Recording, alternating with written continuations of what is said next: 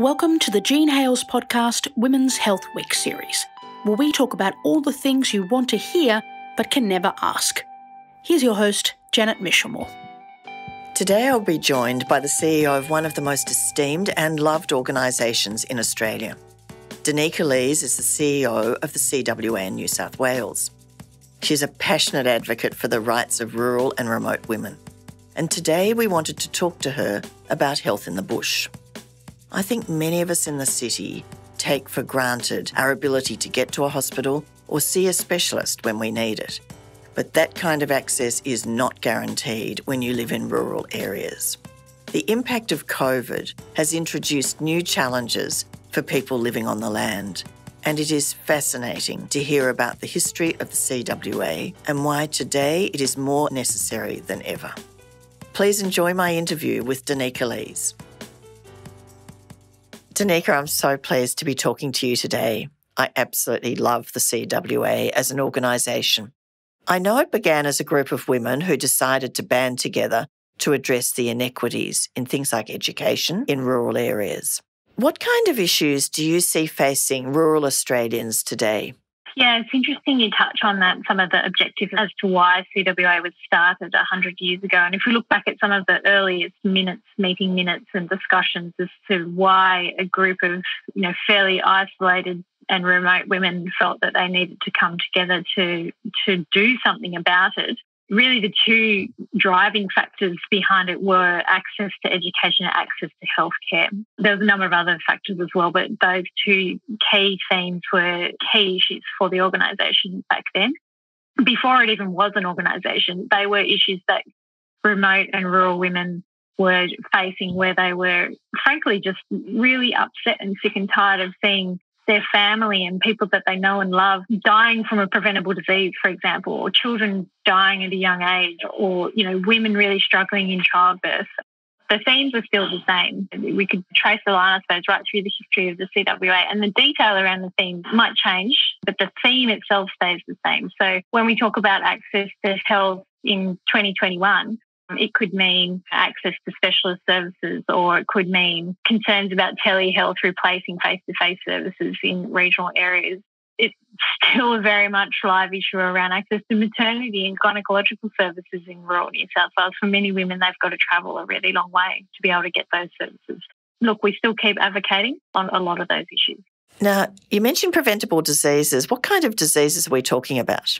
Well, when I was initially talking about preventable diseases, it was in relation to pretty major things happening 100 years ago that most of the population is vaccinated against now, thank goodness. But we still have issues in many parts of rural New South Wales. And, and I suppose they fall into the types of categories of diseases where if you're being proactive about your health and making sure you're getting screened and having your regular checkups, that some of those diseases can be prevented or at the very least slowed down and managed. So things like breast cancer or bowel cancer. Ovarian cancer is an interesting one and a focus for CWA at the moment because it's also our research topic at the moment that we raise a lot of money for every year, a different medical condition. And we're focusing on ovarian cancer at the moment because it is really quite lethal with not a lot of symptoms showing in women before they get the very bad news. Some of those things, um, skin cancer checks are really important, particularly for our rural members who spend a lot of time in the sun. And I think the one thing I'd like to add is heart disease in women. We often just think of heart disease as being a male problem, but in actual fact, it's a problem for women too. I'm sure another health concern for rural women, and indeed all of us, is COVID 19. Can you tell us about what you're hearing from your members when it comes to COVID?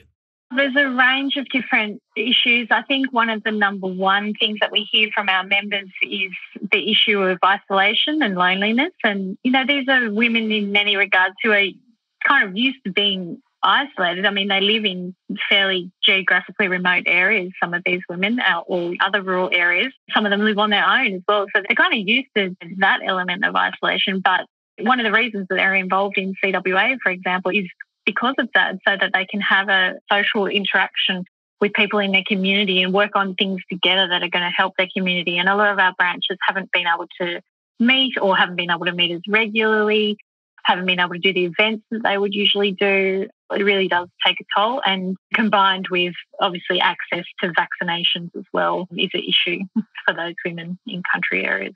It's so easy to imagine the kind of isolation you're talking about taking a toll on the community's mental health. Have you seen a downturn in mental health in rural areas? It's hard to know whether there's been a significant downturn in mental health, although I think on the upside, what's pleasing is that there seems to be, at the very least, more of a conversation around mental health which is leading to a bit more awareness. I still think there's a lot more that can be done on that front, but I think my observation, at least, and I've been involved in and out of kind of rural industries for about 20 years, is that at least there's a much more willingness to have a conversation around it.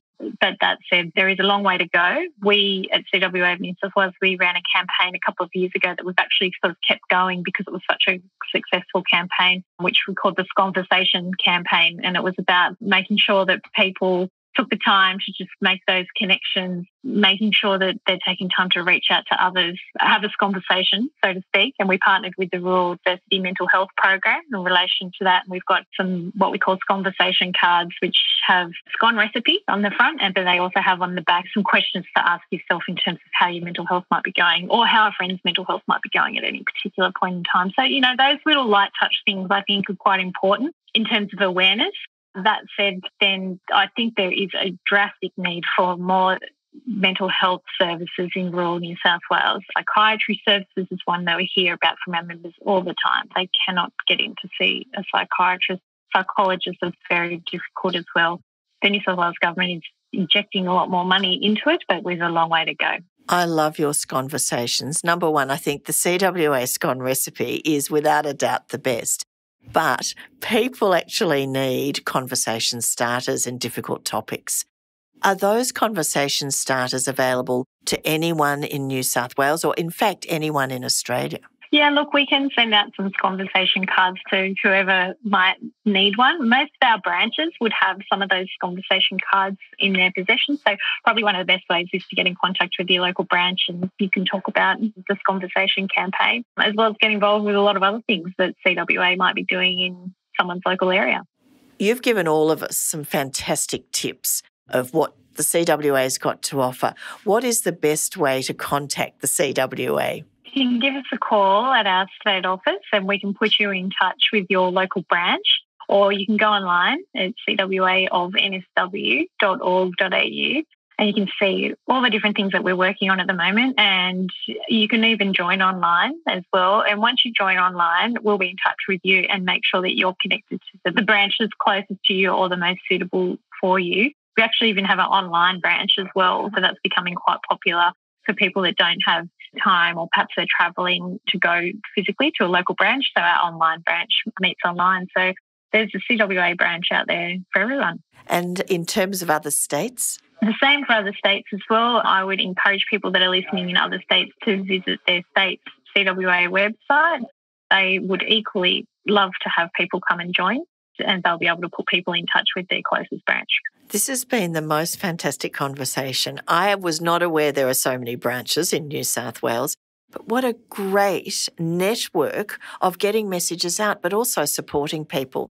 Thank you so much for your time. And I'm going to be looking with huge interest about what the next phase of CWA New South Wales looks like. Oh, thank you so much. It's been such a pleasure to talk to you and look forward to staying involved with you going forward. And I think this, we've achieved so much as an organisation, but there's still so much more for us to do. It's really exciting times ahead for us. Thank you very much.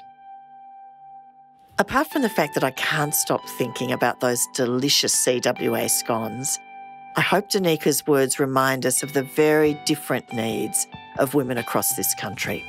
We'll be talking to more women in regional and remote areas, so do stay tuned for those episodes. Thank you for listening. You've been listening to the Jean Hailes podcast Women's Health Week series. Today's episode has been brought to you by Lip Liptember.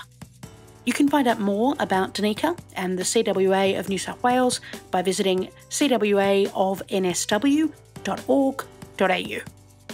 For free expert health information for all women, girls, and gender diverse people, visit jeanhailes.org.au.